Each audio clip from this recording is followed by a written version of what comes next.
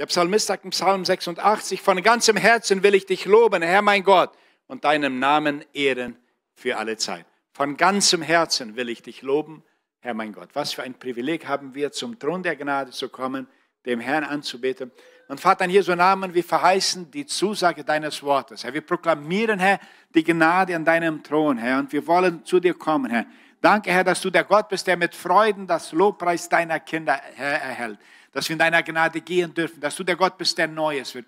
Und Herr, während diesen Lobpreis, komm mit Erneuerung, mit Kraft, mit Freude, mit Heilung, mit Berufung, mit Taufe und deinem Heiligen Geist. Herr, du bist der Gott, Herr, der gute Pläne, der gute Gedanken, der gute Herr, wirklich das Gute in unserem Leben bewirkt. Und Herr, wir brauchen deine Gegenwart heute Abend. Herr, das Größte ist deine Gegenwart, Herr. Herr, lass nicht so, dass wir abgelenkt werden. Wie wunderbar, dass du uns führst in Kraft und in Wahrheit, Herr. Dass wirklich wir wissen, du bist immer da. Aber komm heute Abend spürbar in unserer Mitte, Herr.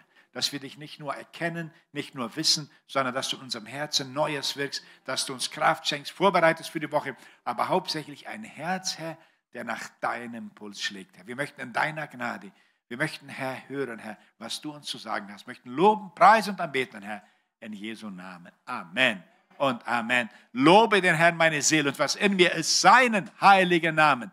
Ein Applaus dem Herrn, der Einzige, der würdig ist. Zu nehmen Lobpreis, Anbetung. Oh, Glorias. Halleluja.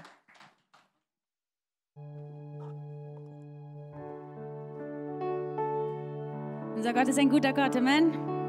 Was für ein Privileg hier zu sein. Wir warten noch kurz auf unsere Sophia. Gott, wir danken dir. Wir danken dir, dass du da bist. Wir danken dir für deine Gegenwart, Herr.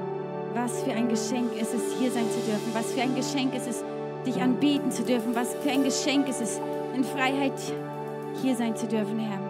Dir allein gebührt alle Ehre, dir allein gebührt alles, Herr. Wir sagen dir Danke, danke für das Privileg, in Freiheit dich zu loben. Und dieser Abend gehört dir, Herr.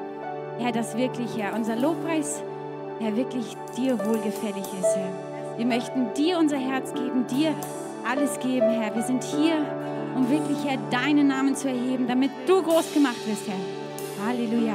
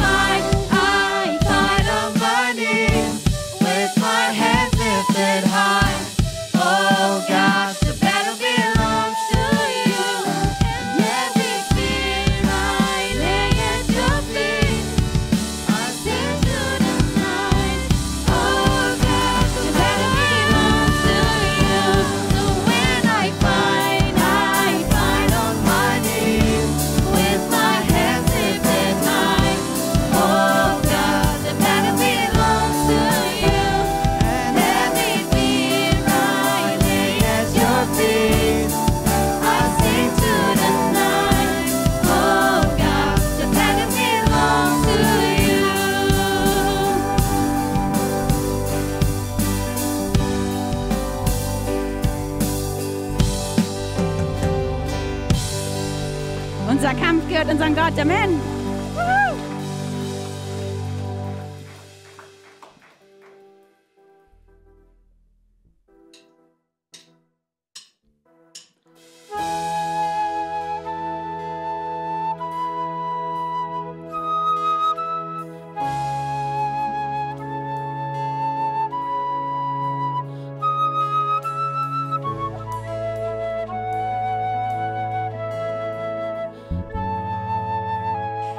just want to speak the name of Jesus over every heart and every mind. Cause I know there is a peace within your presence. I speak Jesus.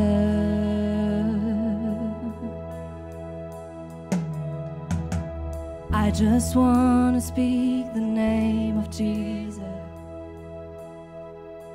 Every dark addiction starts to break,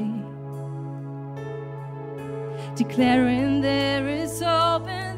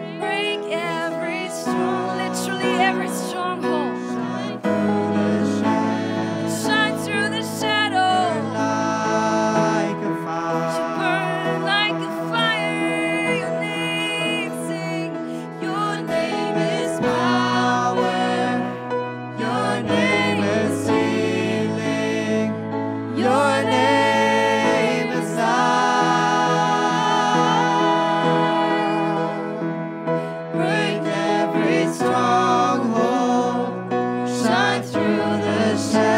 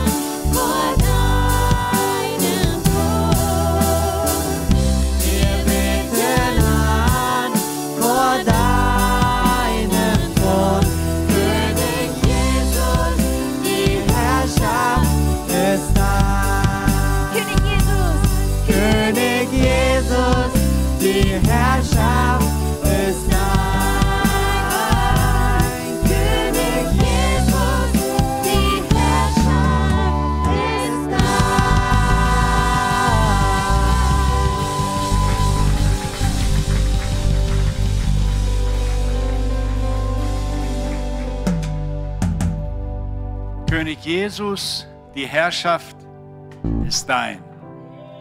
Oh, Halleluja. Wenn er unser König ist, dann sollte er viel zu sagen haben. Dann sollte er unser Größtes sein, unser Alles sein. Und wie oft ist unsere Sehnsucht so nach den Dingen dieser Welt. Aber wie wunderbar, dass wir in Anbetung zu ihm kommen dürfen, wo er uns erinnert, dass er ist der Herr, er ist der Vater und dass wir eine große Familie sind. Heute gedenken wir an unsere Geschwister in der Ukraine.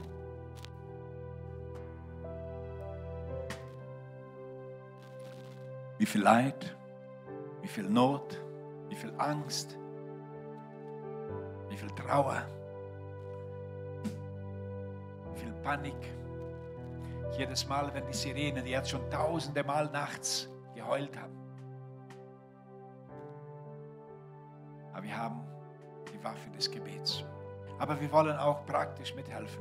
Wir möchten sie auch unterstützen, Menschen aufnehmen, auch in Bezug auf Spenden. Und sie möchten heute Abend auch spenden. Hier vor Ort, auch online, die zugeschaltet sind. Sag mal, wir sind dankbar, dass wir auf die Seite derjenigen sind, die geben dürfen. Es bewegt mich ganz besonders, wenn es um Ukraine geht. Vater, wir möchten zum Thron deiner Gnade, Herr, jetzt unsere Geschwister aus der Ukraine bringen, Herr. Herr, du kennst die Tränen, den Schrei, Not, Angst, wahre Angst, Herr. Oh wir lassen oft, dass so eine Kleinigkeit in uns in Panik und Angst, Herr. Herr, und dort ist so ein Kugelhagel, Herr. Da werden so viele Häuser bombardiert, so viel Trauer, Herr. So viele hunderte Familien, Herr, die Verluste melden, Herr. Familien, die nicht mehr wissen, ob sie ihre Väter wiedersehen werden, Herr. Aber du bist der Gott, der noch alles unter Kontrolle hat. Wir proklamieren die Zusage deines Wortes. Herr, errette die Ukraine, Herr. Herr, erhöre das Gebet deiner Kinder. Erhöre das Schrei, Herr, deiner Töchter, deiner Söhne. Erhöre, Herr, diese Nation, Herr, die deinem Namen anbetet, Herr. Herr, wir proklamieren die Zusage deines Wortes, dass du der Gott bist, Herr, der alle Tränen abwischt, Herr. O komm, Heiliger Geist, schenk uns ein Fürbitterherz. Herr. Schenk uns ein Herz, Herr, dass, wenn wir dich als König nennen, Herr, dass wir dein Königreich investieren, Herr. Dass wir dich als König wirklich, Herr, verherrlichen und dass es sichtbar, spürbar und erkennbar ist, dass deine Liebe, dass deine Gnade, dass dein Frieden, Herr, dass wir deiner Gnade bereit sind, Herr. Herr, du warst bereit, dein Leben für uns zu geben, Herr. Wir sind oft so knausrig, Herr. Oh, beginnend bei mir, vergib, Herr. Herr, wir möchten sein ein Werkzeug deiner Gnade, Herr. Ein Instrument deiner Liebe, Herr. Oh, Herr, dass wirklich es in deinem Reich erkennbar ist, Herr. Wie groß die Liebe ist, Herr. Die nicht nur du erwiesen, sondern deine Kinder, Herr. Und wir proklamieren, dein Reich komme, dein Wille geschehe. Oh, Herr, erhöre das Schreien deiner Kinder, Herr. Oh, sieh das Weinen, Herr. Oh, Herr, sieh die Tränen, Herr. Sieh das Bluten, Herr. Oh, sieh die Angst, Herr. Komm, Heiliger Geist, Lobrasurian, Alera Somana Surim, Dorabasurian, das Manas und die Kantasuri Manas. Komm, Heiliger Geist. Komm, Heiliger Geist. Komm, Heiliger Geist, im Namen Jesu.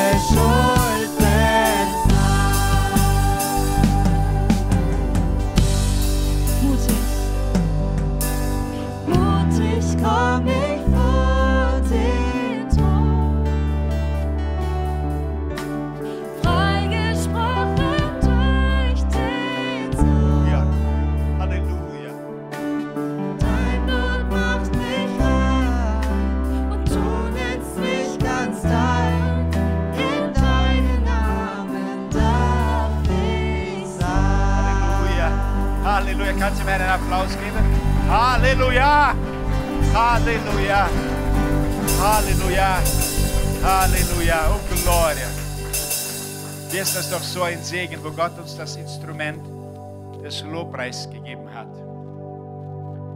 Im Buch der Richter steht, dass das Volk Israel fragte, wir müssen jetzt zum Kampf gehen. Wer geht als erstes? Und der Herr sprach, Judah geht voran. Es ist der Lobpreis. Oh, Gloria. Wir dürfen in der Gnade Gottes in Lobpreis. Die Bibel sagt, dass das Volk Israel war ein großer Bedrängnis, ein großer Feind. Und Gott sagte, nicht die Soldaten, sondern der Lobpreis geht voran. Und der König, er merkte, es gibt einen Gott, der mit Lobpreis, Befreiung, Erneuerung, Kraft. Oh, wenn wir mehr loben und wenig nörgeln, wenn wir mehr preisen und wenig reklamieren, wenn wir mehr anbeten und wenig fördern, wenn wir mehr auf die Knie gehen statt auf die Barrikaden. Was für ein Segen, dass Gott uns führt. Wir dürfen in der Gnade Gottes und ich danke Gott, dass wir Lobpreisabend haben können. Nächsten Monat werden wir es im Gründonnerstag haben, also in der Nacht, wo Jesus diesen großen Kampf hatte, vor Karfreitag. Und wir haben diese wunderbare Möglichkeit, dass wir in der Gnade Gottes anbeten, loben und preisen dürfen. Und ich möchte beten, dass der Herr dich segnen möchte, diese Woche in der Kraft Gottes, in der Liebe Gottes. Und zum Schluss bitte ich den Lobpreis uns noch in eine, noch eine Final zu geben in einem Lobpreis, dass wir gemeinsam zum Schluss noch dem Herrn loben, preisen und anbeten. Und ich möchte dir ein großes Geheimnis erzählen, das vielleicht dir noch nie jemand gesagt hat. Lobpreis ist nicht zum Hören. Ja. Lobpreis ist zum Singen.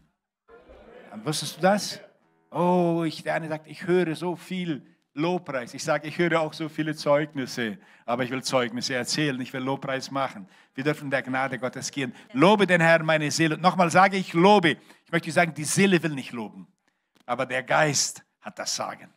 Und dass der Geist möchte dich führen darin, damit die Seele dem Geist unterstellt ist, denn der Herr hat Großes an uns getan. Der Herr hat große Pläne, er hat gute Gedanken. Eine gesegnete Woche und wir proklamieren, die Freude am Herrn ist unsere. Eine gesegnete Woche in Jesu Namen. Oh, glorious. To you I can do anything.